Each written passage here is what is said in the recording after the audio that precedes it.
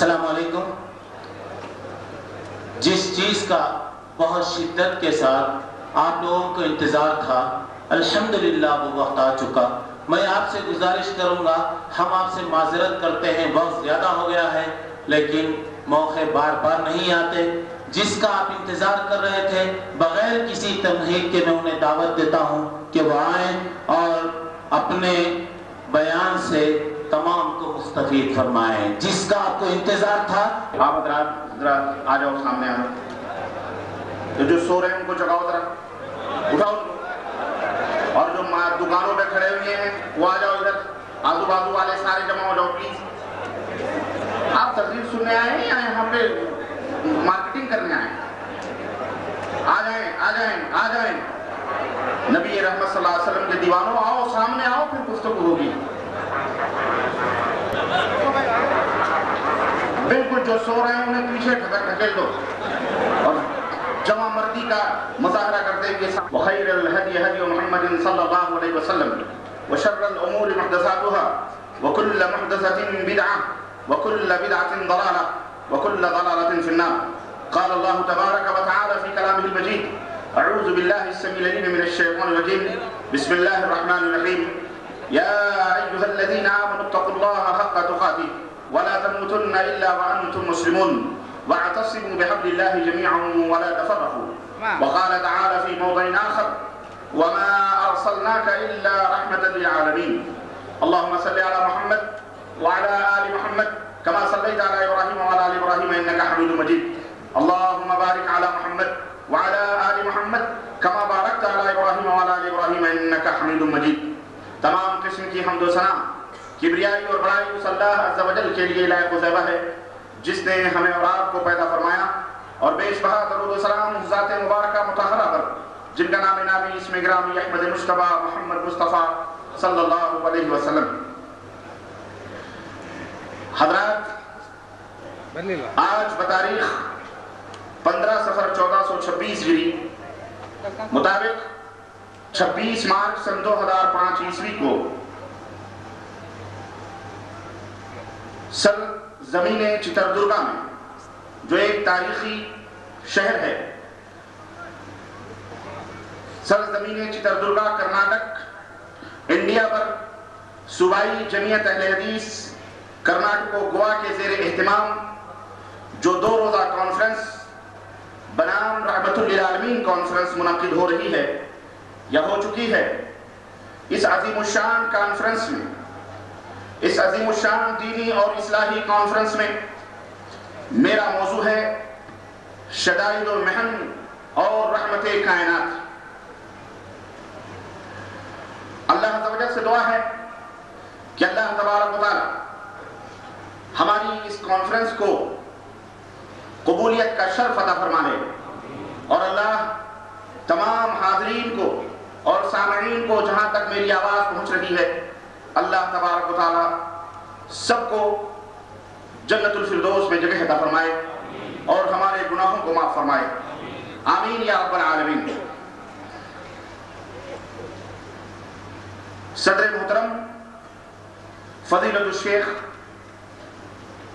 انیس الرحمن مدنی حفظہ اللہ اور ناظم اسٹیٹ مولانا زبیر علی صاحب اور آپ حضرات سامعین اہالیان چتردرگا کے لیے۔ نہایت ہی شرف اور اعزاز کی بات ہے کہ آج ان کی سرزمین پہ جمعیت اہل حدیث کے چاند اور ستارے اتر کے ان کے سامنے بیٹھے ہوئے ہیں۔ یہ عظیم الشان کانفرنس صوبائی جمعیت اہل حدیث کرناٹک و گوا کے زیر اہتمام منعقد ہو رہی ہے۔ میرے عزیزوں، میرے دوستوں اور بھائیوں، ریاست کرناٹکا گوا یا شہر بنگلور، اس ریاست میں چتر درگا سے بھی اہم اور حسین اور خوبصورت مقامات اور جگہیں موجود ہیں۔ مگر احباب جماعت، اکابرین جماعت کی نظر انتخاب سر زمین چتر درگا کے اوپر پڑتی ہے۔ یہ اہالیان چکر درگا کے وسیع الظرفی اور ان کی جرت و بہادری اور ان کی شجاعت و دلیری کی عظیم دلیل اور نشانی۔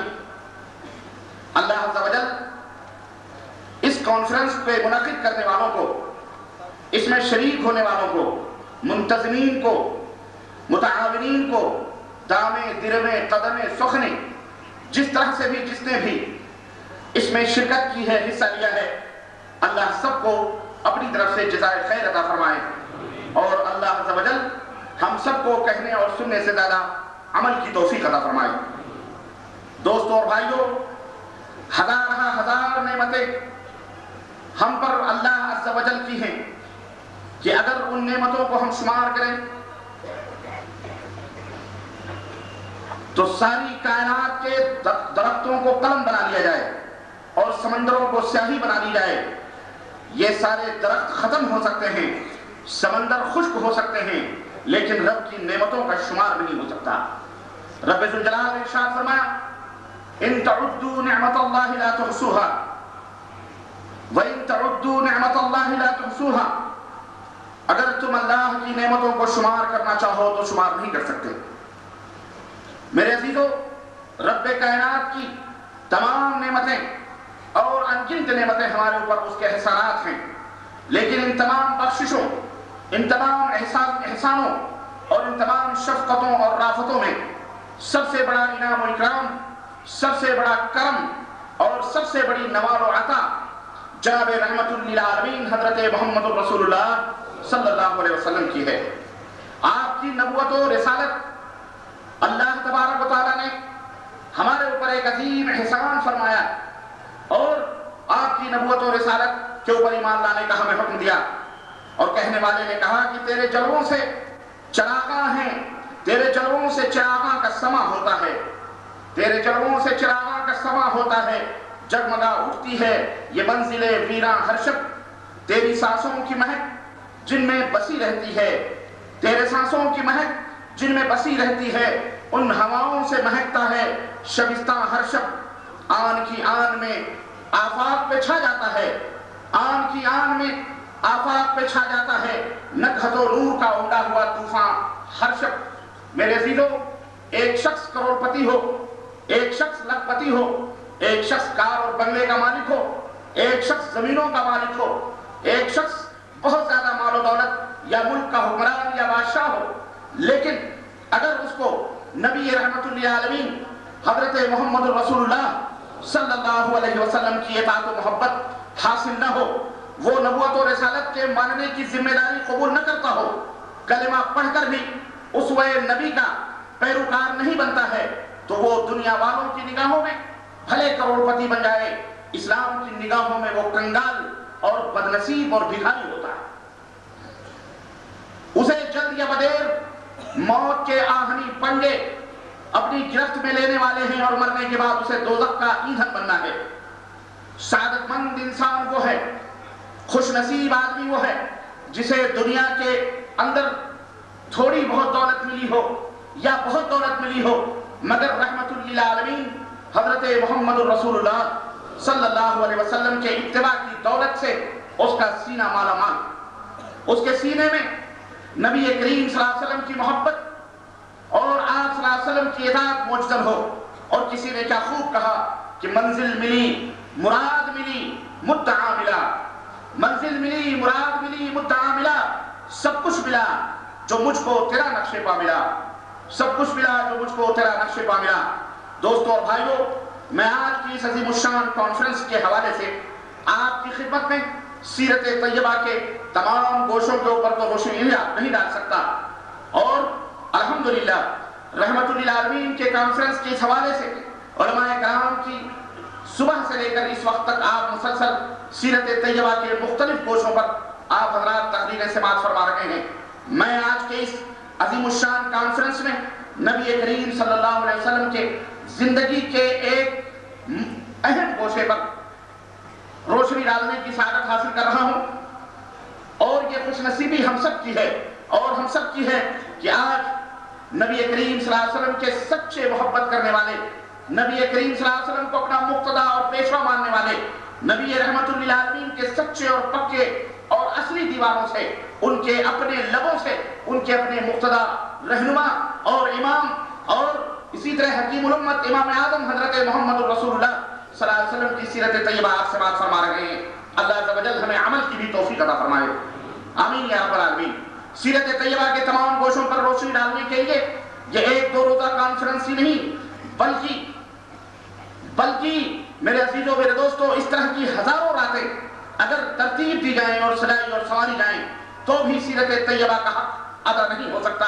اور کہنے والے نے کہا اور زبان سے یہ کہنا پڑے گا کہ یا صاحب الجمال و یا سید البشر، من وجهك المنیر لقد نور القبر، لا يمكن السلام كما كان حقه بعد از خدای بزرگ توی قصہ مختصر۔ اور عزیز لکھنوی نے نبی رحمت صلی اللہ علیہ وسلم کی تعریف اور مدحت میں اگر زبان کھولی تو اس نے یہ کہا کہ بزم توحید سے بزم توحید سے تبلیغ کا نام آیا۔ بزم توحید سے تبلیغ کا نام آیا۔ کوئی پہنے ہوئے قرآن کا جامع آیا۔ کوئی پہنے ہوئے قرآن کا جامع آیا۔ اور جس نے اسلام کے پیچیدہ مطالب کھولے جس نے اسلام کے پیچیدہ مطالب کھولے، سر پہ باندھے، وہ فضیلت کا امامہ آیا اور چشم و مزگاں سے لکھے جس نے ہزاروں دفتر۔ چشم و مزگاں سے لکھے اس نے ہزاروں دفتر۔ جس کے مکتب میں دوات آئی نخامہ آیا۔ جس کے مکتب میں دوات آئی نخامہ آیا۔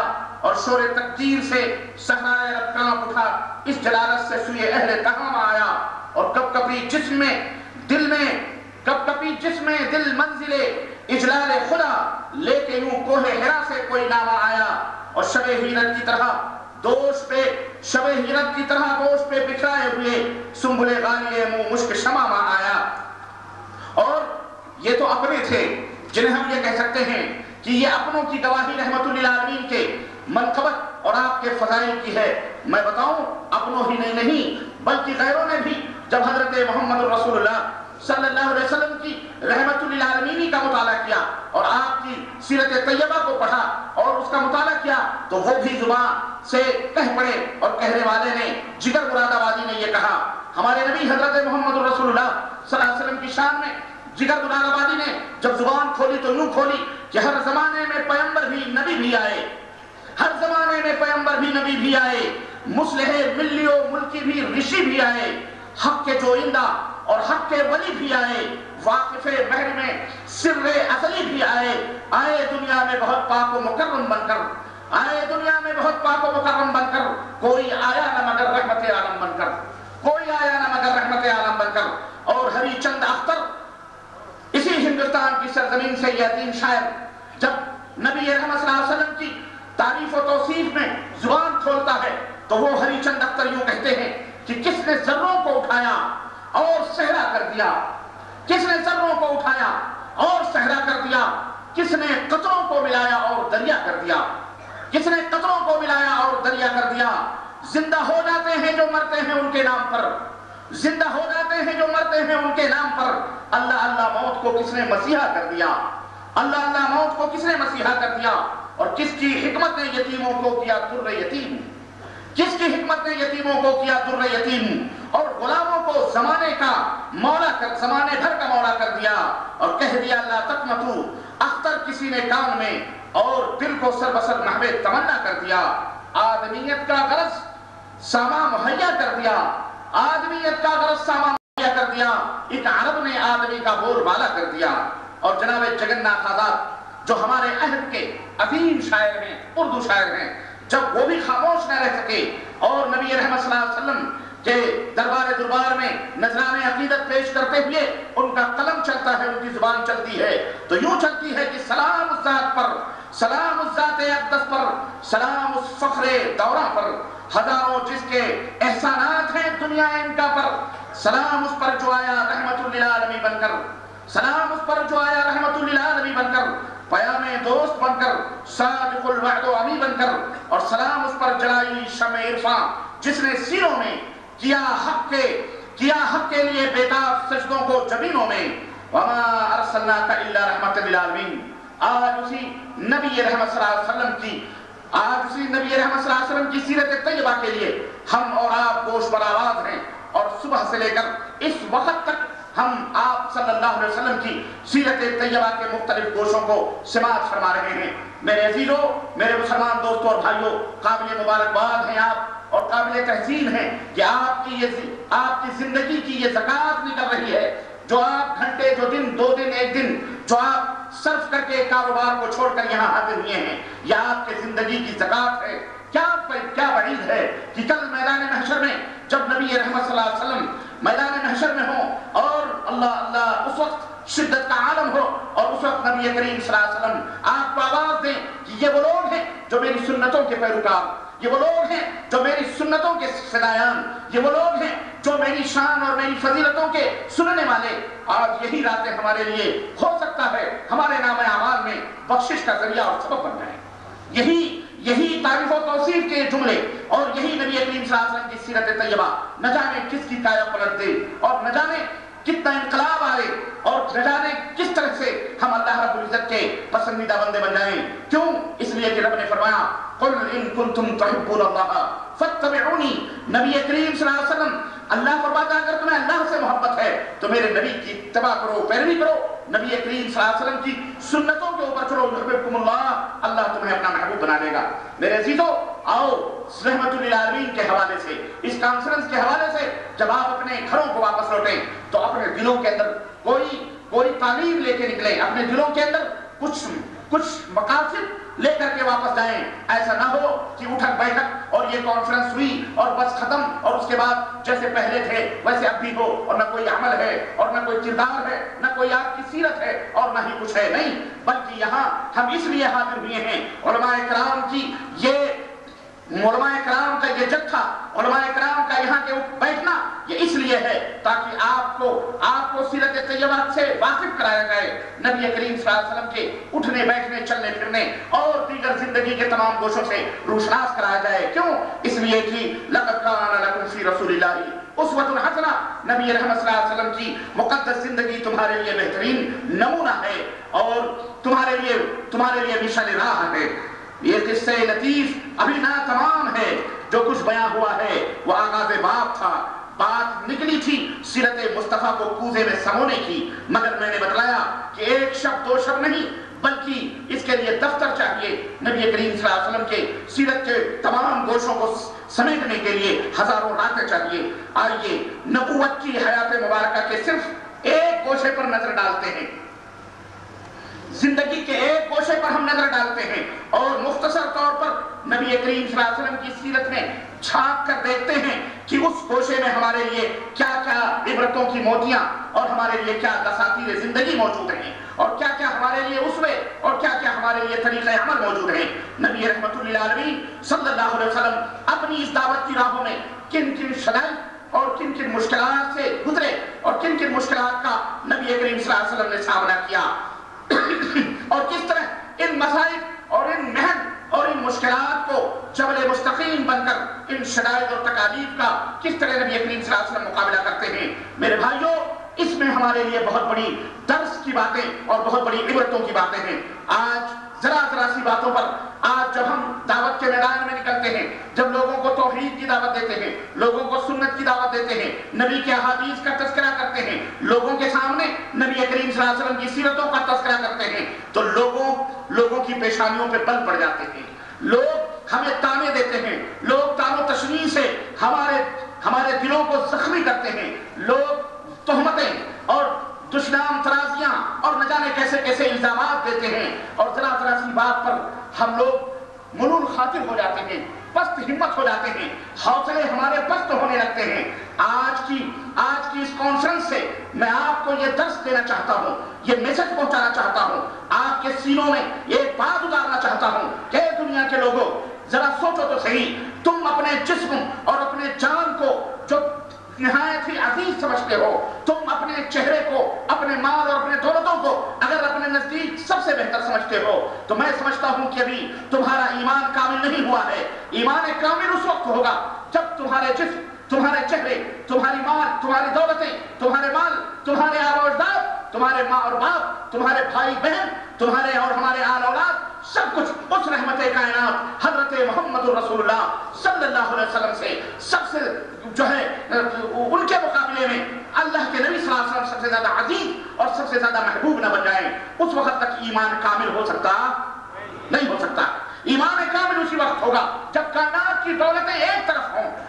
اپنے جسم، اپنی عذیتیں اپنے دکھ، اپنی پریشانیاں ایک طرف ہوں، اللہ اکبر، اپنے مسائب ایک طرف ہوں، اور رحمت للعالمین حضرت محمد رسول اللہ صلی اللہ علیہ وسلم کی سیرت طیبہ ہمارے سامنے کھڑی ہو، اور ہم دیکھیں کہ اللہ کے نبی کس طرح ان تکالیف اور ان تاب و تشنی اور غیروں کے ان الزامات اور تہمتوں کا کس طرح مقابلہ کرتے تھے۔ تو یہ سوچ کر کے ہمارے درد دور ہو جائیں۔ ہم ملول خاطر نہ ہوں، ہم شکستہ دل نہ ہوں، ہم نہ ٹوٹیں، نہ بکھریں بلکہ ان کے لیے ہدایت کی دعا کریں کہ جو پتھر کھا کر کے بھی ہدایت کی دعا کیا کرتا تھا۔ اللہم اللہ قومی فإنهم لا يعلمون۔ اے اللہ، میری قوم کو ہدایت دے۔ اس لیے کہ وہ قوم نہیں جانتی۔ بڑا ہوا۔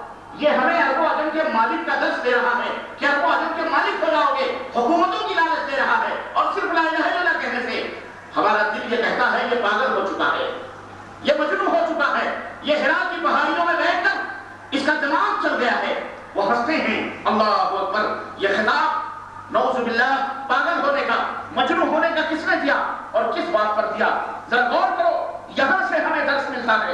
اے توحید و سنت کے پروانوں اور اے اہل حدیثوں تم دنیا کے گوشے گوشے میں چلتے ہو اور لوگ تمہیں تانے اور تشریح دیتے ہیں۔ رب کعبہ کی قسم ہے۔ محمد الرسول اللہ صلی اللہ علیہ وسلم کو یاد کر لیا کرو۔ ہر زخم منتقل ہو جائیں گے اور ہر تکلیفیں دور ہو انشاءاللہ شاء اللہ کبھی ملون خاطر نہ ہو۔ اس طرح کے چرچے اس طرح کی زبانیں آج کوئی نئی نہیں ہیں، بلکہ برسوں سے استعمال کی جا رہی ہیں۔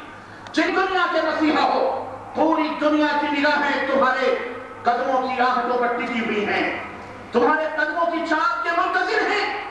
کتاب و سنت کے پروانوں، ہم زبانی نامے نہیں کرتے۔ اللہ کا فضل اور اس کا احسان ہے۔ عملی تصویر بھی پیش کرتے ہیں۔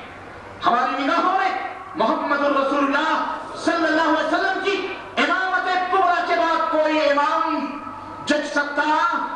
ہاتھ مانگے بولو جج سکتا؟ نہیں جج سکتا۔ ہم وہ ہیں جو زبان سے دعوے نہیں کرتے۔ ہم شرک کے خلاف جھومر بنا کر نگر نگر، گلی گلی، ڈگر ڈگر ہم پھر کر اور مار کھا کر گالیاں سہ کر تہمتیں برداشت کر کے ہم لوگوں کو دعوت دیتے ہیں۔ کہ اے لوگو، اگر لا الہ الا اللہ اللہ کے سوا کوئی معبود برحق نہیں ہے، تو ہونی چاہیے۔ تو رحمت للعالمین کی اطاعت بھی بولو، خالص ہو چکی۔ ہمارا پیغام یہ ہے، اس کے اوپر کوئی گالی دے، کوئی تانے کسے، کوئی پوسٹر بازی کرے، کوئی پرچم بازی کرے، تو ہمیں اپنے نبی کا اسوا یاد رکھنا چاہیے اور یہ سوچنا چاہیے کہ کس کے مذہب میں کس کے دھرم میں گالی دینا ہے اور کس کے دھرم میں گالیوں کو برداشت کر کے دعائیں دینی یہی سے حق باطل کا فیصلہ ہو جاتا ہے۔ اکرام کرتے ہیں، آپ کا اکرام کرتے ہیں۔ اللہ کے حبیب فرماتے ہیں، اتنا اتنا یقین ہے تمہیں ہمارے اوپر۔ اگر میں تم سے یہ کہوں کہ جس پہاڑی پر میں کھڑا ہوں اس پہاڑی کے پیچھے ایک لشکر جرار ہے جو تم پر حملہ آور ہونا چاہتا ہے۔ ابھی تھوڑی دیر میں تمہارے وجود کو نیست و نابود کرنا چاہتا ہے۔ تو ذرا بتاؤ کیا میری اس بات پر یقین کرو گے؟ آواز دی بے زبان ہو کر سارے مکے کے لوگوں نے ہاں محمد صلی اللہ علیہ وسلم، آواز دی کہ ہاں ہمیں یقین ہے یقین ہے اس لیے کہ آپ نے اپنی چالیس برس کی زندگی میں کبھی جھوٹ کا ایک شبد بھی نہیں کہا ہے۔ کبھی جھوٹ نہیں بولے ہیں آپ۔ کبھی جھوٹ نہیں آپ نے کہا ہے۔ اس لیے ہمیں یقین ہے۔ آپ اتنے سچے، آپ اتنے امانتدار ہیں کہ آپ ہمیں دھوکہ نہیں دے سکتے۔ نبی رحمت نے جب اپنی شخصیت کا لوہا بنوایا، تب رب کی توحید کا اعلان کیا اور کہا، تو اب جب اتنا یقین ہے، تو میری بات سنو۔ قولو لا الہ الا اللہ تفلحو لا الہ الا اللہ کہلو کامیاب ہو جاؤ گے، فلاح پا جاؤ گے۔ اللہ اکبر، نبی رحمت نے یہ آواز دی۔ وہی لوگ جو ابھی تعریف و توصیف کے تعریف و توصیف کے گن گا رہے تھے۔ وہی لوگ جو نبی کی امانت و صداقت صداقت کا صداقت کا گن گا رہے تھے، وہی لوگ ان کے چہرے سرخ ہو گئے۔ آنکھوں سے انگارے ابل پڑے۔ گالیوں کا پہلا پتھر پھینکا گیا۔ پہلا پتھر گالیوں کا غیروں کی طرف سے نہیں، خود نبی کریم صلی اللہ علیہ وسلم کے سنے چچا ابو طلب ابو ابو لہب کی طرف سے آیا۔ اور ابو لہب نے کیا کہا؟ کہا تب لکھا یا محمد تبلک یا محمد، علی الحاظہ جماعتنا محمد صلی اللہ علیہ وسلم۔ تیرے ہاتھ ٹوٹ جائیں۔ کیا آج تم نے ہمیں اسی لیے جمع کیا تھا؟ ارے، یہی بات بدلانا تھی تجھے۔ یہی فتنہ پیدا کرنا تھا۔ یہ فتنہ ہے۔ توحید کی بات کیا ہے؟ فتنہ ہے۔ سارے عرب کو برگشتہ کر سکتی ہے۔ اللہ اکبر، نبی ملول خاطر ہوئے۔ تھوڑے لمحے کے لیے دل شکستہ ہوا۔ ارے، خیر بولتے تو بولتے، گھر کا سگا چچا بھی بائیکاٹ کر رہا ہے، ہمارے اس میسج کا انکار کر رہا ہے۔ ہمارے اس پیغام کا اور کون ابول ہے؟ وہ ابول ہے جس نے نبی کی پیدائش کا، نبی کی پیدائش کی خوشخبری سنی۔ جس نے محمد ابن عبداللہ کے پیدائش کی خوشخبری سنی، تو اس نے جس نے خوشخبری سنائی، اس سویبیہ لونڈی کو آزاد کر دیا۔ کہاں بھتیجا پیدا ہوا ہے؟ کون سا بھتیجا؟ میرے مرے ہوئے بھائی کا بیٹا پیدا ہوا ہے، اس کی خوشی میں اس کو آزاد کر دیا۔ وہ ابول ہے۔ وہ ابول ہے۔ اس وقت اس وقت نبی نہیں بنے تھے ہمارے نبی۔ اس وقت محمد ابن عبداللہ تھے۔ ابو لہب کو تو محبت تھی ابو لہب برتھ ڈے پر، پیدائش پر خوش ہو کر لوڈی آزاد کرتا ہے۔ لیکن جب محمد رسول اللہ صلی اللہ علیہ وسلم تاکہ نبوت سے سفرات کیے گئے اور گرابار بوجھ آپ کے کندھے، آپ کے شانے پر رکھا گیا، اس وقت وہی ابو لہب پکا دشمن بن گیا۔ پکا دشمن بن گیا۔ گلی گلی نگر نگر آ حضرت صلی اللہ علیہ وسلم کی مخالفت کرتا کرتا تھا۔ یہ دعوت کی ابتدا تھی۔ بولو یہ دعوت کی ابتدا تھی۔ یہ دعوت کا آغاز تھا۔ یہ شروعات تھی۔ نبی رحمت اللہ سمجھ چکے تھے۔ جان گئے کہ آنے والے دنوں میں، آنے والے طوفانوں اور بلاخیز شرائط اور مہن کے موجوں کا آنے والے دن پتہ دے رہے ہیں۔ ضرور اس میں بہت بڑا راز ہے۔ ضرور کی کسی مشکلات کا سامنا کرنا پڑے گا۔ لیکن قربان جائیں، اس نبی کی شجاعت و بہادری پر کہ بجائے اس کے کہ اس دعوت سے رک جائیں، بجائے اس کے کہ اس دعوت میں کمزوری پیدا ہو، مزید مزید پختگی پیدا ہوتی گئی۔ مزید استقامت پیدا ہوتا گیا۔ بلاخر یہ دعوت توحید مکے کے گلی کوچوں میں گردش کرنے لگی۔ لوگوں، تم سوچ سکتے ہو، تم بتا سکتے ہو کہ اس نبی نے کس طرح ظلمتوں کی ان تاریخ راتوں میں توحید کی شموں کو روشن کیا تھا۔ اللہ اکبر، کیا سحر اور کیا جادو تھا رب کے اس حکم میں، جس میں کہ نبی نبی سے اللہ عز و جل نے فرمایا، یا ایھا المدثر قم فانذر وربك فكبر وثيابك فطهر والرجز فهجر ولا تمنن تستكثر ولربك فاصبر۔ اللہ اکبر، یہ چند آیتیں تھیں نبی رحمت صلی اللہ علیہ وسلم کے اوپر اتاری گئی جن کے اندر بے جن کے اندر رب نے احکامات کے ذریعے بہا دی۔ اللہ رب العزت نے احکامات کی موتیاں بکھیر دی توحید، یوم آخرت پر ایمان تزکیے نفس کا اہتمام، فحش اور گندے انجام تک پہنچانے والی چیزوں کا ترک، فضائل اور کمالات اور اعمال خیر پر کاربند ہونے کی کوشش اور جد و جہد۔ اور سارے معاملات کو اللہ تبارک تعالیٰ کے سپرد کر دینے کا یہ حکم اللہ کے نبی کو اللہ تبارک تعالیٰ دیتا ہے۔ ذرا اس آیت کی ابتدا پر غور کریں۔ ابتدا ہوتی ہے، یا ایوہ المدثر، اے کملی اوڑھنے والے، اے چادر پوش، اے چادر اوڑھنے والے، اٹھ۔ اٹھ اور ڈرا اے چادر اوڑھنے والے، اٹھ۔ یہ تھی وہ آسمانی ندا۔ جس نے نبی کریم صلی اللہ علیہ وسلم کو اس عظیم کام کے لیے اٹھنے اور نیند کی چادر اوڑھنے اور بستر کی گرمی سے نکل کر جہاد و مشقت کے میدان میں اتر جانے کا حکم دیا۔ گیا تھا یہ تھا وہ پیغام ایس دی اور اللہ رب العزت کا وہ پیغام۔ یا ایھا المدثر قم فانذر اے چادر اوڑھنے والے اٹھ؟ گویا یہ کہا جا رہا ہے کہ جسے اپنے اپنے لیے جینا ہے۔ جسے اپنے لیے عیش و عشرت اختیار کرنی ہے۔ وہ تو راحت کی زندگی گزار سکتا ہے، لیکن اے نبی، آپ آپ جو اس زبردست بوجھ کو اٹھا رہے ہیں، تو آپ کو نیند سے کیا تعلق ہے؟ آپ کو راحت و سکون سے کیا تعلق ہے؟ آپ اٹھ جائیے اس کار عظیم کے لیے جو آپ کا منتظر ہے، اس بار گرام کے لیے جو آپ کے خاطر ہم نے تیار کیا ہے۔ اٹھ جائیے، جد و جہد اور محنت و مشقت کے لیے اٹھ جائیے۔ کہ اب نیند اور راحت کا وقت نہیں ہے، گزر چکا ہے۔ اب آج سے پہم بیداری ہے۔ طویل پر مشقت کی راہیں ہیں۔ اٹھ جائیے اور تیار ہو جائیے۔ یا ایھا المدثر، ان راہوں میں کانٹے بچھائے جائیں گے۔ ان کے اوپر صبر کیجیے اور نہایت ہی پامردی اور استقامت کے ساتھ آگے بڑھیے۔ عزیزان ملت اسلامیہ، یہ بڑا ہی عظیم اور بڑا ہی پرہیبت کلمہ ہے۔ چنانچہ اس نے اس کلمے نے نبی رحمت صلی اللہ علیہ وسلم کو پرسکون گھر، گرم آغوش اور نرم نرم بستروں سے کھینچ کر تند اور طوفانوں اور تیز جھکڑوں کے درمیان لا کر کے کھڑا کیا اور اس کے عطا سمندر میں ڈھکیل دیا۔ لوگوں کے ضمیر اور زندگی کے حقائق کی کشاکشی کے درمیان انہیں لا کر کے کھڑا کر دیا گیا۔ رسول رحمت صلی اللہ علیہ وسلم اٹھ گئے، اس دعوت کو لے کر اٹھ گئے اور بیس سال سے زیادہ عرصے تک اٹھے رہے، راحت و سکون کو تج دیا۔ زندگی اپنے لیے، زندگی اپنے لیے اور اہل و عیال کے لیے اب یہ زندگی نہ رہی۔ آپ اٹھے تو اٹھے ہی رہے، کام کیا، کام کرتے ہی رہے۔ ایک معبود برحق کی طرف، اور کام کیا تھا نبی کریم صلی اللہ علیہ وسلم کا؟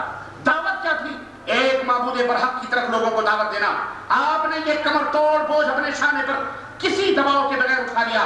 یہ بوجھ تھا۔ اس روئے زمین پر امانت کبرا کا بوجھ، ساری انسانیت کا بوجھ، سارے عقیدے کا بوجھ اور انسانیت کو غلامی کے زنجیروں سے چھڑانے کا بوجھ، ساری اور مختلف میدانوں میں جہاد اور دفاع کا بوجھ۔ تین سال تک نبی رحمت صلی اللہ علیہ وسلم کی یہ دعوت خفیہ طریقے سے، خفیہ طریقے سے چلتی رہی، پوشیدہ طریقے سے چلتی رہی۔ اور اس خفیہ طریقے دعوت کا مقصد کیا تھا؟ مقصد یہ تھا کہ یہاں مکے کے اندر کعبے کے پاسبان بھی تھے اور بتوں کے نگہبان بھی تھے۔ یہ وہ لوگ تھے جنہیں پورا عرب تقدس و عظمت کی نگاہوں سے دیکھتا تھا۔ یہاں ایسی عظیمت اور ایسی استقامت درکار تھی جسے مسائب و مشکلات کے جھٹکے اپنی جگہ سے نہیں لا سکیں اس کیفیت کا تقاضا یہ تھا کہ کچھ دنوں کے لیے اس دعوت کو خفیہ اور پوشیدہ رکھا جائے تاکہ اچانک کوئی ایسا حملہ نہ ہو اور کوئی ایسا طوفان نہ کھڑا ہو کہ اس کو روکنا مشکل بن جائے۔ اس دعوت کے نتیجے میں، اس خفیہ دعوت کا آغاز ہوا اور اس خفیہ دعوت کے نتیجے میں جو لوگ مسلمان ہوئے، جنہیں سابقون الاولون کا خطاب دیا گیا، اس میں سر فہرست آپ کی آپ کی زوجہ محترمہ، ام المومنین حضرت خدیجۃ الکبرى رضی اللہ تعالی عنہ، آپ کے آزاد کردہ غلام زید بن ثابت رضی اللہ تعالی عنہ، آپ کے چچیرے بھائی علی بن ابی طالب رضی اللہ تعالیٰ عنہ اور آپ کے یار غار، حضرت ابو بکر صدیق رضی اللہ تعالیٰ عنہ، یہ پہلے ہی جن مسلمان ہو گئے تھے، جس دن نبی نے دعوت کی اسی دن مسلمان ہو گئے۔ پھر حضرت ابو بکر کی کوشش سے حضرت عثمان غنی مسلمان دیے، زبیر مسلمان دیے عبد الرحمن بن عوف اسلام میں داخل ہوئے، سعد بن ابی وقاص داخل ہوئے اور اسی طرح ابن عبید اللہ یہ اسلام کا حراول دستہ تھا جو نبی کریم صلی اللہ علیہ وسلم کی دعوت پر لبیک کہہ چکا تھا۔ بلال حبشی بھی شروع شروع میں مسلمان ہو چکے تھے اور اس کے علاوہ، ان کے علاوہ اب امین امت ابو عبیدہ بن جراح اور دیگر بہت سارے صحابہ مسلمان ہو چکے تھے۔ پھر میرے عزیزوں، میرے دوستوں، خفیہ دعوتوں کا یہ نتیجہ تھا۔ پھر ایک دن آیا۔ اللہ عزوجل سے، اللہ عزوجل نے آسمان سے آواز دی، وحی نازل فرمائی اور فرمایا فستا بما تؤمر۔ وعارض للمشرکین اے نبی، اب وقت آ گیا ہے اب پردے سے باہر نکلیے۔ پوشیدگی کا زمانہ نہیں رہا۔ خفیہ دعوتوں کو، خفیہ دعوتوں کو کینسل کیجیے اب کھلم کھلا دعوت ہونی چاہیے۔ مکے کے اندر کھلم کھلا دعوت ہونی چاہیے۔ فستا بما تؤمر۔ جس بات کا تمہیں حکم دیا جا رہا ہے جو دعوت تمہارے حوالے کی گئی ہے، اس کو اعلان بیان کیجیے۔ وعارض للمشرکین اور یہ تین سو ساٹھ بتوں کے پجاری، یہ مشرکین، ان سے اعراض کیجیے، ان سے اعراض کیجیے اور اپنی دعوت میں آگے بڑھئے۔ اللہ اکبر، اس کے بعد کیا تھا؟ اللہ اللہ اکبر۔ اس کے بعد رسول رحمت اللہ اللہ کے یہ ہوئی اس حکم کو پا کر شرک و خرافات کا پردہ آپ نے چاک کرنا شروع کر دیا۔ بتوں کی حقیقت کیا ہے؟ ان کی قدر و قیمت جو ان کی نگاہوں میں مشکل کشائی کی حیثیت حاصل کر چکی تھی۔ بیماروں کو شفا دینا، بے اولادوں کو اولاد دینا، وہ بت جو ان کے اپنے معبود بن چکے تھے استغفر اللہ، جنہیں وہ خدا سمجھ بیٹھے تھے، نفع اور نقصان کا مالک انہیں سمجھ بیٹھے تھے۔ اور انہیں کو سب کچھ ان کو پوچھتے تھے، ان کو نظر و نیاز چڑھاتے تھے، ان کو نام، ان کے نام کو اٹھنے پٹھتے بیٹھتے یاد کرتے تھے، پکارا کرتے تھے، اور ان کے نام کے بکرے بکریاں ذبح کرتے تھے، اونٹ ذبح کرتے تھے، ان کے نام کے ذبیحے چھوڑا کرتے تھے۔ اللہ کے نبی صلی اللہ علیہ وسلم نے کھلا کھلا ان کی رد کرنا شروع کی، لوگوں کو سمجھانا شروع کیا، دلیل دینا شروع کیا، یہ بیچارے بت، یہ یہ یہ مسکین ہیں، یہ تو ان کے اوپر مکھی بھی بیٹھ جائے یہ مکھی بھی نہیں اڑا سکتے۔ یہ پتھر کے سلام کیا بولیں گے؟ ان کی پوجا نہ کرو۔ دیکھو تمہارا پیدا کرنے والا کون ہے؟ وہ مالک ہے، جو عرش کے اوپر مستوی ہے، جس نے زمین بنائے، آسمان بنائے، تمہیں پیدا کیا، تمہارے ماں باپ کو پیدا کیا آپ و اجداد کو پیدا کیا۔ یہ وہ اللہ ہے۔ جو نفع اور نقصان کا مالک ہے، وہ اللہ ہے جو بیماروں کو شفا دیتا ہے، وہ اللہ ہے جو مشکلات کو دور کرتا ہے۔ لوگوں کو مشکلات میں بھی ڈالنے والا وہی اور مشکلات سے نکالنے والا بھی وہی۔ اللہ کے حبیب نے اس طرح سے مچ بچ کر کے دونوں دعوت دینا شروع کی، دلائل دیتے ہوئے دلائل دیتے رہے اور دلائل ابراہیم کی بنیاد پر ان سے کہا، ان سے واشرات اور کھلم کھلا توحید کی دعوت کو دینا شروع کیا۔ نبی مثالیں دے دے کر سمجھاتے کہ یہ بت کس قدر ناکارے ہیں، یہ بت کس، کچھ کسی کام کے نہیں ہیں۔ اور میرے بھائیوں، جو شخص انہیں پوچھتا ہے اور ان کو اپنے اور اللہ کے درمیان وسیلہ بناتا ہے، وہ کھلم کھلا گمراہی کے اندر ہے۔ وہ گمراہ ہے، وہ مشرک ہے، وہ اللہ کا باغی ہے۔ اللہ اکبر اللہ اکبر، یہ صدا یہ صدا مشرقین مکہ کے کانوں میں پہنچی۔ یہ آوازہ ان کے کانوں میں پہنچا۔ احساس غضب کے شولے بھڑک اٹھے اور لوگوں کے چہرے تمتما اٹھے غیظ و غضب سے۔ اللہ کے نبی صلی اللہ علیہ وسلم کی دعوت کو سن کر کے شدت حیرت و استنکار سے مکہ بھڑک گیا۔ گویا بجلی کا کوئی کڑکا تھا جس نے پرسکون فضا کو متزلزل کر دیا، ہلا کر کے رکھ دیا۔ اب کیا تھا؟ اس دعوت کی آوازیں کو سن کر مکے کے لوگ مکے کے لوگ اٹھ کھڑے ہوئے۔ مکے کے لوگ پھٹ پڑے۔ ایک انقلاب کی جڑ کاٹنے کے لیے، ایک تبدیلی اور اصلاح کی بنیادوں کو ختم کرنے کے لیے سارے مکے کے لوگ کھڑے ہوئے سرے فہرست قریش مکہ، سرے فہرست کھڑے ہوئے مگر مشکل ان کے لیے ایک تھی، اور وہ بڑی مشکل یہ تھی کہ جس کا ان کے سامنے مقابلہ تھا، وہ دلائل اور براہین سے بات کیا کرتا تھا۔ کس سے بات کرتا تھا؟ بولو۔ وہ ایسی باتیں کرتا تھا جو دلوں اور دماغ میں اتر جایا کرتی تھی، جسے وہ جادو کا نام دیا کرتے تھے شہر کا نام دیا کرتے تھے۔ اللہ اکبر، وہ ان کے سامنے ایک ایسا آدمی تھا جو مکان میں اخلاق کی بلند چوٹیوں پر فائد تھا۔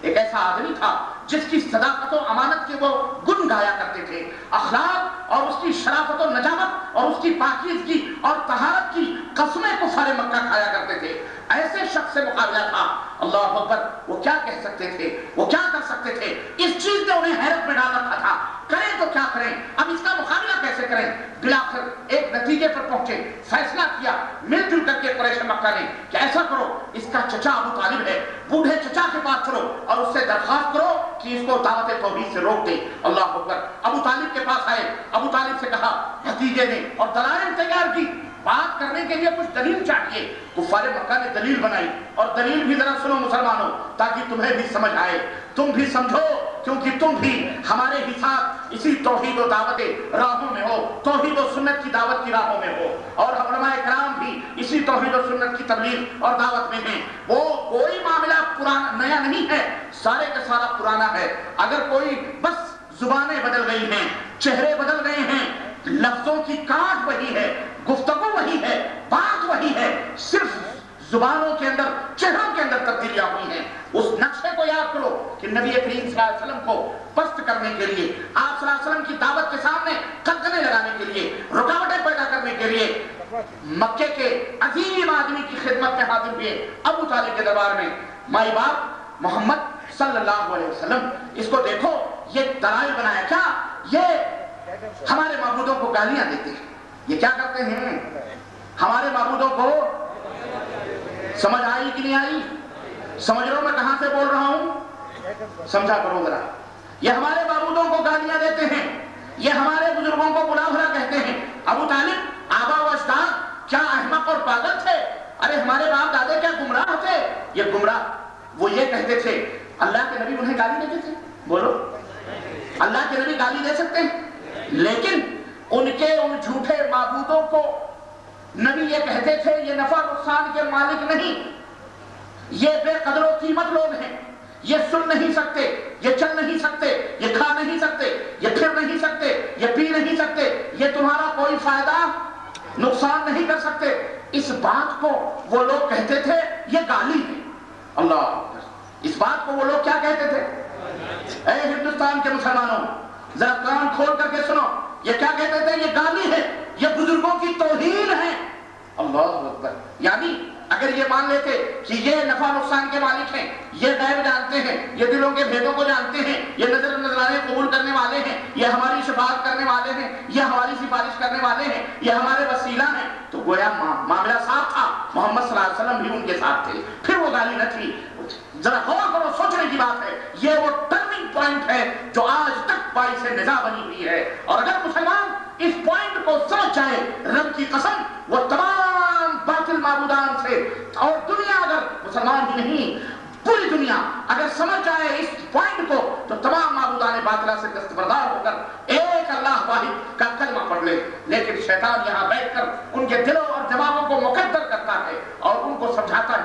تمہارے بزرگ ہیں یہ تمہارے یہ کر سکتے ہیں یہ بیٹا دیتے ہیں یہ بیٹی دیتے ہیں یہ فلاں ہے یہ فلاں ہے یہ فلاں ہے تمہارے باپ دادے اسی کو ماننے والے وہ دیکھو بڑے بیٹھے ہیں وہ دیکھو کعبے کے پاس بان ہیں وہ دیکھو بڑے بڑے لوگ ہیں۔ آخر وہ بھی تو اس کو مانتے ہیں۔ اسی عصبیت نے، اسی اندھی روش نے ان کو گمراہ کیا ہوا تھا جو شیطان نے ان کے لیے جال بنے تھے۔ اللہ اکبر۔ ابو طالب کے پاس آئے۔ ابو طالب کے پاس دلائل دی کہ بزرگوں کو گالیاں، اپنے بھتیجوں کو سمجھا۔ دو ابو طالب نے نرم نرم باتیں کری۔ انہیں سمجھا بٹھا کر کے کہا، ٹھیک ہے، آپ جاؤ، میں اپنے بھتیجے سے نپٹ لوں گا۔ بھتیجے کے پاس آئے۔ اللہ اکبر۔ بھتیجے سے بھتیجے سے کہتے ہیں، سیرت کی بات ہے۔ بھتیجے کہتے بھتیجے یہ بڈھا چچا، بوڑھا ہو چکا ہے۔ اب یہ بوجھ برداشت نہیں کر سکتا۔ پورے مکے کے لوگ دشمن بنے ہوئے ہیں۔ بیٹے، اس دعوت توحید سے باز آ جا۔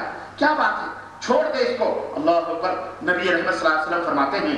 اللہ کہتے ہیں، اے چچا، اگر مکے کے لوگ میرے داہنے ہاتھ میں سورج اور بائیں ہاتھ میں چاند لا کے رکھ دیں، پھر بھی میں توحید کی دعوت سے باہر آ سکتا۔ اس نبی کے ماننے والے ہو اس نبی کے ماننے والے اور کلمہ پڑھنے والے ہو بولو، دعوت توحید سے کبھی رک سکتے نہیں رک سکتے۔ علم توحید و سنت کی دعوت ہونی چاہیے۔ چاہے کسی کی پیشانیاں سمٹیں، چاہے کوئی خوش ہو، چاہے کوئی اپنے باپ داداؤں کی رت لگائے، لگاتا رہے۔ ڈاکٹر کا کام آپریشن کرنا ہے، مریض چیختا ہے چیخنے۔ اگر ڈاکٹر مریض کے چیخ اور پکار کو سنیں اور اس سے گھبرا جائے، اسے ڈاکٹر کہیں گے؟ اسے ڈاکٹر نہیں کہیں گے۔ تو تم اس امت کے ڈاکٹر ہو۔ تم اس امت کے کون ہو؟ ڈاکٹر ہو۔ توحید و سنت کے پاسبان ہو نوجوان ہو بزرگ کبھی گھبراؤ مت، کبھی، چنانچہ سنو، میں شدائد اور محنت کا تذکرہ کر رہا ہوں۔ آغاز ہوا اور پھر نتیجہ آگے آ رہا ہے دھیرے دھیرے۔ یہاں سے سٹارٹ ہوئی۔ وہ مصیبتیں اور پریشانیاں نبی رحمت صلی اللہ علیہ وسلم پر۔ ایک انداز ایک انداز ان کا نہیں تھا تکلیف پہنچانے کا۔ کئی انداز تھے۔ کبھی زبان استعمال کیے جاتے، کبھی اشیاء دنیا کی چیزیں استعمال کی جاتی، کبھی غیروں کو اپنا استعمال کیا جاتا، کبھی دشمنوں کو مختلف انداز سے ایزا رسانیوں کا سلسلہ جاری ہوا۔ ابو طالب نے جب یہ کلمہ سنا محمد رسول اللہ صلی اللہ علیہ وسلم کی زبان سے، کہا، بھتیجے، لگتا ہے تو اپنی راہوں میں پختہ ہے۔ چاہ اب کچھ بھی ہو، اپنی دعوت کو ان لوگوں کے سامنے بیان کر، اب تیرا کوئی بال بھی بیکار نہیں کر سکتا ہے۔ اللہ اکبر۔ دوسرا محاذ قائم کیا؟ جب دیکھا نبی کریم صلی اللہ علیہ وسلم بات نہیں جا رہے، دعوت پہ دعوت دے رہے ہیں۔ بہت بڑے، بہت بڑی چیز کا سہارا لیا تھا انہوں نے۔ توحید کی دعوت کی رکاوٹ کے لیے مکے کے بڑے عظیم، بڑی عظیم شخصیت کا، سمجھو اس دور کے D S P S P رہے ان کے ان کا سہارا لیا تھا کہ بچاؤ، نہیں تو پھر تو یہ ہم گئے، یہ پورا ہمارا دھرم جائے، ورنہ محمد کو نہیں روکو گے تو مشکل ہو جائے۔ اس دور کے بہت بڑے آدمی تھے لوگ انہیں عزت و عزت و اکرام کی نظر سے دیکھتے تھے۔ اللہ اکبر، سمجھ جاؤ کیا کیا ہو رہا ہے۔ اگر یہ محاذ پہ فیل ہو گئے، نبی صلی اللہ علیہ وسلم پھر بھی دعوت توحید دیتے رہے۔ پھر دوسری مہاداریاں شروع ہوئی اب حج کے مہینوں میں مخصوص لوگوں کو تیار کیا گیا۔ مخصوص لوگوں کو تیار کیا گیا۔ جانتے تھے کہ نبی حج کے مہینوں میں حاجیوں سے ملتے ہیں اور جاتے ہیں اور ان کے خیموں میں توحید کی دعوت دیتے ہیں۔ اب چاروں طرف راستوں پر بٹھا دیا گیا۔ کیا لوگوں کو دیکھنا ایک آدمی ہے، محمد نام ہے، پاگل ہو چکا ہے مجنو ہو چکا ہے، بہت بڑا جادوگر ہے، اس کی آواز نہ سننا، اس اور اللہ اکبر۔ چاروں طرف سے یہ صدائیں جو بھی مکے کے جس گلی سے داخل ہوتا، جس راستے سے داخل ہوتا، اسے یہ باقاعدہ پریس کیا جاتا، اسے پہنچایا جاتا، اس کو بتایا جاتا۔ اللہ اکبر، نبی نے اپنے نبوت کا پرچار بھی کس کی زبان سے کروایا؟ اپنوں سے کم غیروں کی زبانوں سے کروایا۔ اب جو مکے میں داخل ہو رہا ہے، وہ بھی حیران و شرطر ہے۔ بھلا ایسا آدمی کون سا پیدا ہوا کہ جس طرف دیکھو ہر ایک اس کا دشمن بنا ہوا ہے؟ ہر ایک اس کا دشمن بنا ہوا ہے۔ ان کی سمجھ میں یہ بات آنے لگی، یہ ضرور کوئی موجوداتی چیز ہے، یہ ضرور کوئی انہونی چیز ہے۔ چلو۔ اور انسان کی فطرت ہے، جس چیز سے منع کیا جائے، اس چیز کو وہ ضرور کرتا ہے۔ چنانچہ غیروں نے پرچار کیا۔ آئے، نبی کی زبان سے قرآن کی تلاوتیں سنی، نبی کے اللہ کا کلام سنا۔ اللہ اکبر دل دے بیٹھے اور نبی کے سامنے دونوں زانو تہ کر کے پکار اٹھے اشہد واللہ الہ الا اللہ اشہد واللہ محمد رسول اللہ. یہ تھے میرے بھائیوں، اس طرح سے یہ محاذ قائم کیا، پھر اس پر بھی فیل ہو گئے، اور تعداد مسلمانوں کی بڑھنے لگی۔ نتیجہ یہ ہوا، اب دوسرا مہار اختیار کیا تال و تشریح دینا، مذاق اڑانا اور استحصا کرنا، اور اس طرح سے نبی کریم صلی اللہ علیہ وسلم کو ٹارچر کرنا، اور نتیجہ یہاں تک پہنچا۔ وہ نبی، اللہ اکبر، میرے عزیزوں، میرے دوستوں، منہ کلیجہ منہ کو آتا ہے۔ اس کو کس قدر تکلیفیں پہنچائے گی؟ کہ اللہ اکبر گھر میں کھانے کی پتیلی پک رہی ہے۔ تم تم تم آج کیا ہو تم؟ تم جن مصیبتوں اور پریشانیوں سے دوچار ہو رہے ہو، آج دنیا جو تمہارے پیچھے پڑی ہوئی ہے، تم سمجھتے ہو کہ بہت بڑی مصیبت ہے۔ اللہ اکبر ہمارے چہرے، ہمارے جسم، اس نبی کے چہرے اور جسم جیسے نہیں ہو سکتے۔ ہمارا ہمارا اپنا بدن اس نبی کے بدن جیسا، ہمارا اپنا گھر اس نبی کے گھر جیسا نہیں ہو سکتا۔ اس صبر و شک اس صبر و شکیب کے پیکر کا وہ وہ اسوا دیکھو مسلمانوں سنو، وہ نبی گھر میں چولہے جلتے، کھانا بنتا۔ اللہ اکبر، کفار مکہ، دشمنان اس طرح سے ٹکا کر گندگیاں اللہ کے نبی صلی اللہ علیہ وسلم کے گھر میں پھینکتے کہ جا کے کھانے کی پتیلیوں میں گندگیاں اللہ کے نبی کا چولہا بند ہو جاتا، کھانا خراب ہو جاتا۔ اللہ کے نبی باہر نکلتے، کہتے، اے اپنے مناف کے لوگوں، پڑوسیوں کا حق یہی ادا کر، یہی ایسے ہی ادا کیا جاتا ہے۔ اچھا ادا کرتے ہو پڑوسیوں کا حق۔ اللہ کے نبی دعا کرتے ہیں اللہ کے رسول صلی اللہ علیہ وسلم، جن مسائل اور جن پریشانیوں سے دوچار ہوئے اللہ اکبر، اسی دعوت کی راہ میں آج ہمارے اوپر کوئی مشکل نہیں، آج ہمارے اوپر کوئی پریشانی نہیں۔ مسلمانوں، یہ بدلانے کا مقصد اور آج کی شب میں تم نے بہت سیرتیں سنی نبی اکریم صلی اللہ علیہ وسلم کی زندگی کے، لیکن یہ کوشا بتلانے کا مقصد یہ ہے کہ اس راہ میں بہت سارے طوفان آئیں گے، بہت ساری مشکلات آئیں گی۔ بہت ساری دشواریاں آئیں گی۔ اور اے نوجوانوں، کبھی تمہیں تمہاری ماں، تمہارے باپ، تمہارے رشتہ داروں سے دشمنی کرنا پڑے گی۔ یہ وہ را... یہ وہ راستہ ہے، یہ وہ پرخار وادیاں ہیں جس پر چل کر تمہیں تار و تشریح اور تمہیں دشمنی یہاں تک کہ قتل و غارت کرے گی ہو سکتی ہے۔ دشمن یہاں اس نتیجے تک بھی پہنچ سکتا ہے۔ تمہارے سامنے حضرت محمد الرسول اللہ صلی اللہ علیہ وسلم کا سراپا پیکر ہونا چاہیے، نمونہ ہونا چاہیے، نبی کی سیرت طیبہ ہونی چاہیے۔ اللہ اکبر استحدہ اور مذاق اڑانا، تکذیب کرنا، نبی صلی اللہ علیہ وسلم کو جھٹلانا۔ اور اللہ اکبر، سیرتوں میں آتا ہے کہ نبی علیہ السلام مجنہ کے بعد، اوقاف کے بازار میں، مجنہ میں ظلمجاز میں، مکے کے اندر جا جا کر کے بازاروں میں لوگوں کو دعوت دیتے تھے۔ اور کہتے تھے لوگوں لا الہ الا اللہ پڑھ لو۔ اللہ کا، اللہ ہی معبود حقیقی ہے۔ اللہ کی عبادت کرو، اللہ کی بندگی کرو۔ اللہ اکبر، ابو لہب جس نے سوئبیا کو سوئبہ کو آزاد کیا تھا نبی رحمت صلی محمد بن عبداللہ کے پیدا ہونے پر۔ اللہ اکبر، وہ پیچھے پیچھے جاتا۔ روایتوں کے اندر آتا ہے۔ نبی علیہ السلام آگے آگے چلتے تھے۔ ابو لہب کنکریاں جیب میں بھر کر، پتھر بھر کر ابو لہب پیچھے سے نبی کے قدموں کا نشانہ لگا کر، ٹکا کر آپ کے قدموں کو مارتا تھا۔ روایتوں کے اندر آتا ہے کہ نبی کے قدمائے مبارک زخموں سے زخموں سے خون بھر پڑتا تھا اور آپ کے جھوٹے خون سے بھر جایا کرتے تھے۔ یہ مصیبتیں اپنوں سے، اللہ، لیکن پھر بھی اللہ کے رسول صلی اللہ علیہ وسلم اپنی اس دعوت سے باز نہیں آتے تھے اور بازار میں مار کھاتے، بازار میں چور رکھتی مار کھاتے، گھر میں آتے۔ حضرت ام المومنین خدیجت القبرہ جیسی عظیم الشان بیوی اللہ نے عطا فرمائی تھی اور یہ وہ خدیجت القبرہ ہیں۔ یہ وہ خدیجت القبرہ ہیں کہ جن کے بارے میں جن کے بارے میں روایتوں میں آتا ہے کہ جبریل آتے ہیں، کہتے ہیں کہ اللہ کے نبی ابھی ایک عورت آپ کے گھر میں داخل ہونے والی ہے۔ آپ کے پاس ایک عورت سالن کا پیالہ لے کر کے آ رہی ہے۔ اگر وہ آپ کے پاس آئے اور گھر میں آئے تو اس کو کہنا کہ اللہ نے آسمان سے اس کے لیے سلام بھیجا ہے۔ اللہ اکبر۔ آتی ہیں، دروازہ کھلتا ہے۔ نبی نے دروازہ کھولا تو ان کی عزیز بیوی حضرت عمر مومنین خلیل القبرہ موجود تھی۔ کہنے لگے، خدیجہ، خوش ہو جاؤ۔ اللہ نے ساتوں آسمان سے اوپر، عرش کے اوپر وہ رب مستوی تمہارے لیے سلام کا پیغام بھیجا ہے۔ جبریل آئے تھے، یہ وہ تھے۔ انہوں نے اپنا سب کچھ ٹچ کیا تھا نبی رحمت صلی اللہ علیہ وسلم پر۔ یہ وہ خاتون تھی کہ روایتوں کے اندر آتا ہے۔ نبی کی سیرتوں میں نبی مار کھا کر نبی زخمی ہو کر گھر میں آتے، یہ یہ مخلصہ بھی یہ باوفا اور نیک اور صالحہ خاتون اپنے گود میں نبی کریم صلی اللہ علیہ وسلم کے چہرے مبارک کو لے کر زخموں کو دھلتی اور پھائے لگاتی، مرہم لگاتی اور کہتی کلہ واللہ لن یخزی اللہ۔ اے میرے نبی، آپ اپنی دعوت میں اٹل رہیے، اس راہ پر چلتے رہیے۔ آپ کا رب آپ کو کبھی رسوا کر سکتا، نہیں رسوا کر سکتا۔ مرہم رکھتی۔ آج کل کی بیویاں ہوتی، شوہر مولوی صاحب اگر باہر سے مار کھا کر کے آ رہے ہیں، تو مولوی صاحب روتے تو وہ دو ہاتھ اور روتے وہ چنگھاڑ کرتی۔ لیکن نہیں، وہ نبوت کے مشکات سے علم حاصل کرنے والی عورتیں تھیں کہ نبی کریم صلی اللہ علیہ وسلم کو تسکین دیتی، انہیں صبر کا پر صبر صبر بتلاتی، نبوت ان کی گود میں سوتے اور یہ ایک مشکل، میرے بھائیوں میرے بھائیوں جنہیں اللہ تعالیٰ نے بیٹیاں دی ہیں، اس دعوت کی راہ میں نبی رحمت صلی اللہ علیہ وسلم نے معاشی، معاشرتی، سماجی اور ہر طرح سے ایزا رسانیوں کا پیکر ایزا رسانیوں کا صبر و استقامت کا پیکر بن کر کے مقابلہ کیا ہے۔ اللہ نے جنہیں بیٹیاں دی ہیں، وہ جانتے ہیں بیٹیوں کا درد کتنا بڑا ہوتا ہے۔ جو بیٹیوں کے باپ ہیں، اگر بیٹی جوان ہے گھر میں، شادی نہیں ہوئی ہے، اس کا غم باپ کو کبھی اس کا غم سونے نہیں دیتا ہے۔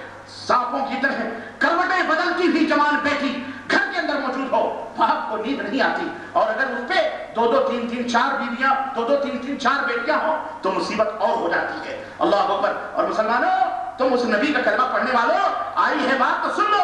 تم نے شادیوں کو اتنا مشکل بنا دیا ہے۔ آج ایک باپ اپنی بیٹی کو جوان بیٹی کو گھر میں پالنا دشوار ہو رہا ہے۔ تم نے مشکل بنایا ہے۔ اور تم نے جہیز اور لین دین اور یہ گھوڑے جوڑے اور پتہ نہیں دنیا بھر کی غیر مسلموں کے رسم و رواج کو آج تم نے شادیوں کو اتنا مشکل بنا دیا اور زنا کو اتنا آسان بنا ہے۔ تم نے بنایا ہے۔ آج دنیا کے اندر شادی ہمارے ہندوستان کے اندر اور مسلمانوں تم ہندوستان کے اندر شادی اتنی مشکل بن چکی ہے۔ زنا اس سے کہیں زیادہ آسان ہو چکا ہے۔ پانچ سال، چھ سال، آٹھ سال ایک شادی میں لگتے ہیں، لیکن ایک زنا کرنے میں پانچ نہیں، دو منٹ میں آدمی زنا کر کے واپس آ سکتا ہے۔ میرے عزیزو، اے نبی کے پروانوں اے نبی کی سنتوں کے دعوے کرنے والوں، توبہ کرو اور یاد رکھو، سنو، اللہ کے نبی نے فرمایا تھا کہ جب تم نے کوئی پیغام نگاہ دینے کے لیے آئے، تو کیا کرو؟ دیکھو اس کا دین کیا ہے۔ بدتی پھر اس کے بعد اخلاق دیکھو۔ وہ حرام خور، جوئے باز، شراب، سگریٹ پینے والا تو نہیں۔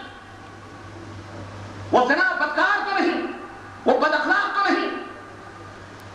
دین دیکھو، نمازی ہے یا بے نمازی ہے۔ اخلاق دیکھو، حرام خور ہے یا حلال خور ہے۔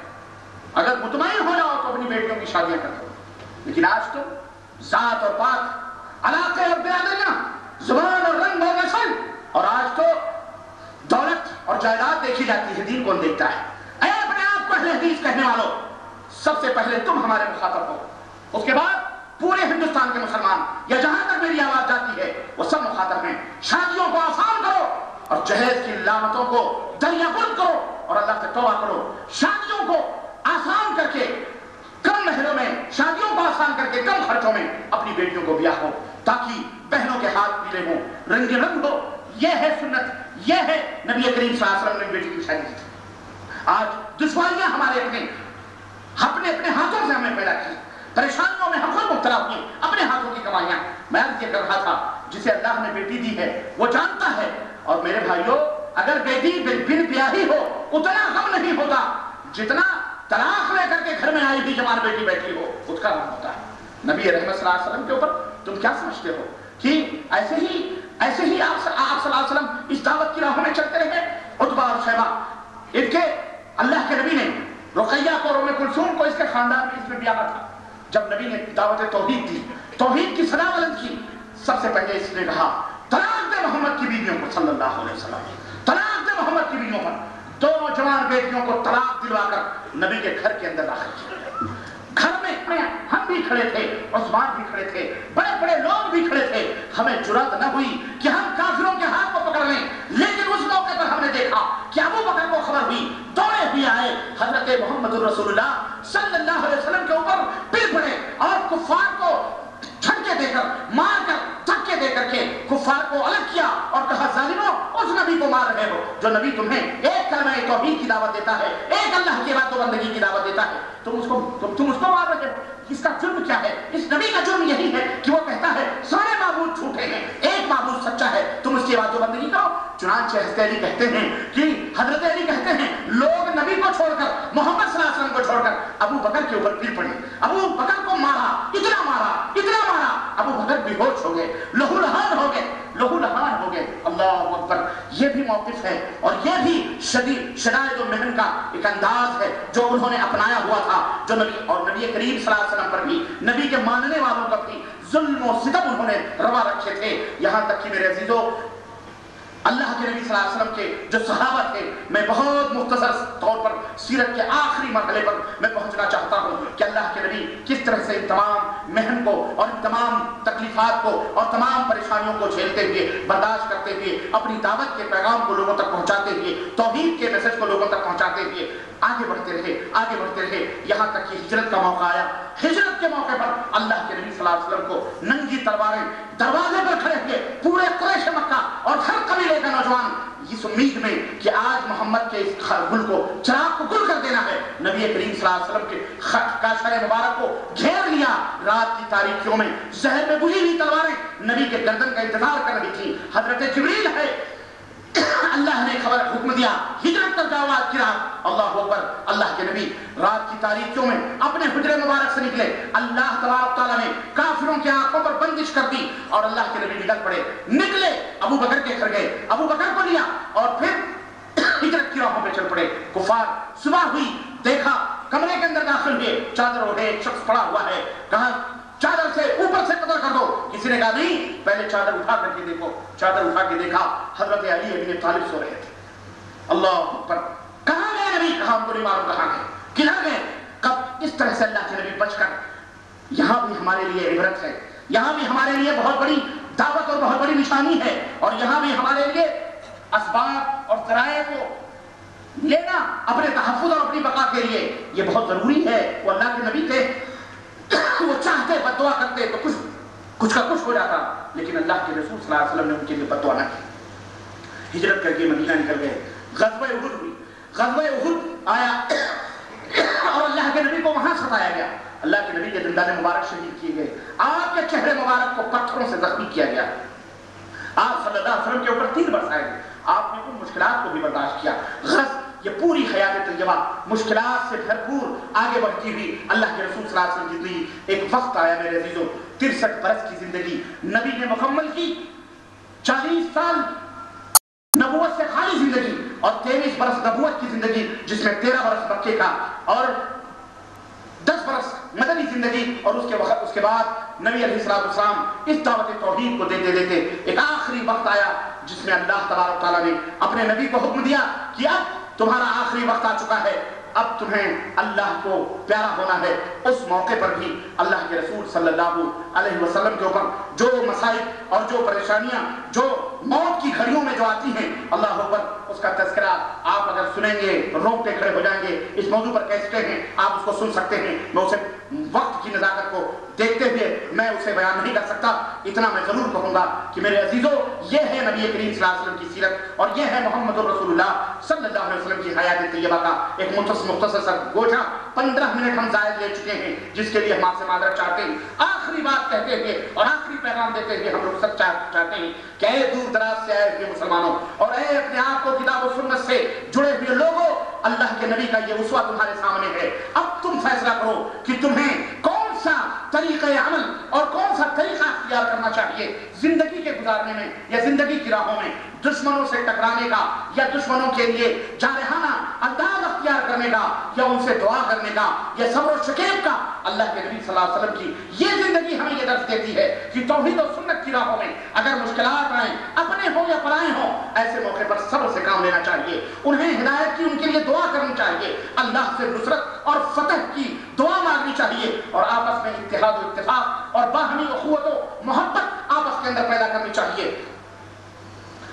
آپس میں باہمی اخوت و محبت پیدا کرنا چاہیے اور آپس میں مل جل کر کے اپنے اس دعوت کے قافلے کو آگے سے آگے لے جانا چاہیے۔ سموتات کا جذبہ، بڑوں کا احترام، چھوٹوں کے اوپر شفقت اور مہربانی، آپس میں اخلاق اور محبت، اپنی مسجدوں کے اندر نماز کا قیام اور عبادات کا غلغلہ اور ذکر و تسبیح کا کا شور آپ کے اندر ہونا چاہیے۔ آپ کے گھر تمام قسم کے علا اور بلا فحش اور بےحائیوں سے پاک ہونے چاہیے۔ آپ ایک سادہ سادہ زندگی حضرت نبی کریم صلی اللہ علیہ وسلم والی زندگی گزارنے کی کوشش کریں اور ان راہوں میں جو مشکلات آئیں صبر کریں۔ انشاءاللہ یاد زندہ صحبت باقی، کل انشاءاللہ فوائد اطاعت رسول صلی اللہ علیہ وسلم کے اوپر تفصیلی خطاب ہوگا۔ آج وقت مختصر تھا، بہت سارے علماء کرام، لیکن کل انشاءاللہ ہم ہوں گے، آپ ہوں گے، ہماری رات ہوگی۔ انشاءاللہ تعالی، اللہ تعالیٰ سے دعا ہے کہ اللہ تعالیٰ ہمارے اس کانفرنس کو قبول فرمائے اور اللہ عز و جل ہم سب کے اس حاضری کو قبول فرمائے اور ہم سب کو جنت الفردوس میں جگہ عطا فرمائے۔ اے بار الہ، ہم خالی ہاتھ تیرے دربار میں دعا کرتے ہیں۔ اے اللہ، جتنے بھی حاضرین ہیں، اے اللہ، سب کو جنت میں جگہ عطا فرما۔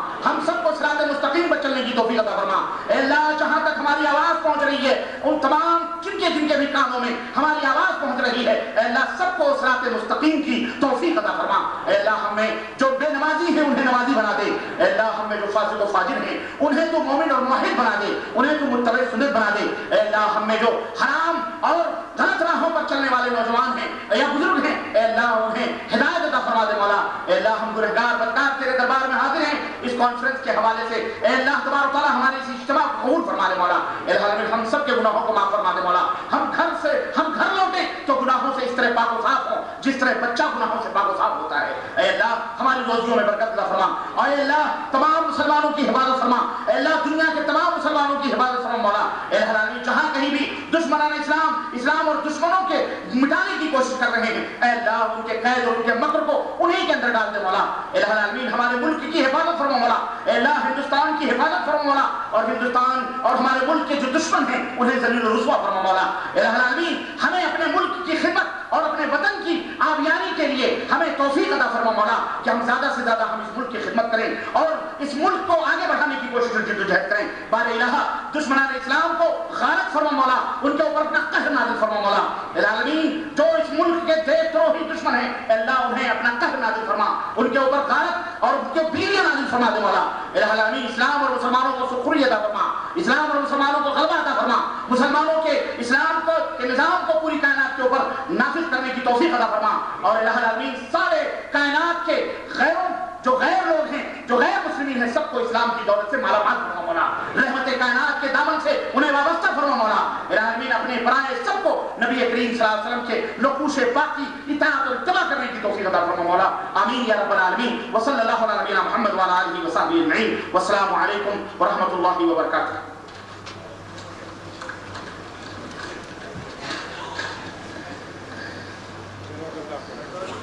لے کے پتھر آ گیا، سارا زمانہ میری سم۔ لے کے پتھر آ گیا، سارا زمانہ میری سم۔ جب نام میں نے لیا تیرا بتوں کے شہر میں۔ آپ مولانا سے کتاب سماعت فرما رہے تھے، ایک دو منٹ انتظار کریں۔ نحمد و نصلی علی رسول کریم میں سے ادنا خادم جماعت اور بالرزاعت کو بخشی، میں اس کے لیے انتہائی شکر گزار ہوں۔ علماء کرام کا انتہائی شکر۔ انتہائی شکر گزار ہوں اور قدردار ہوں کہ آپ حضرات سراپا سمتات بن کے اور ایک اچھے سکون کا اور صاحب سننے کے اچھے ذوق کا مظاہرہ کرتے ہوئے بڑے صبر سکون کے ساتھ اتنی دیر تک بیٹھے رہے اور سب کو جو ہے شکریہ کا موقع آپ نے عطا فرمایا۔ میں آپ حضرات کا شکر گزار ہوں، قدردان ہوں۔ صدارت کی ذمہ داریاں بہت ہیں، ان کے ذکر کرنے کے بھی یہاں موقع نہیں ہے۔ چار تقریریں ہوئی الحمدللہ، سب مدلل چین سب کا فائدہ الحمدللہ ہوا۔ اور ہوگا اللہ تعالیٰ ہم سب کے خدمات کو۔ اور ان کوششوں کو قبول فرمائے۔ اور مزید خدمت کرنے کی توفیق عطا فرمائے۔ باپ نے دعوان الحمدللہ رب العالمین۔ جو یہاں پر جمع ہو جائیں، ضروری گفتگو ذمہ داروں کی ہوگی۔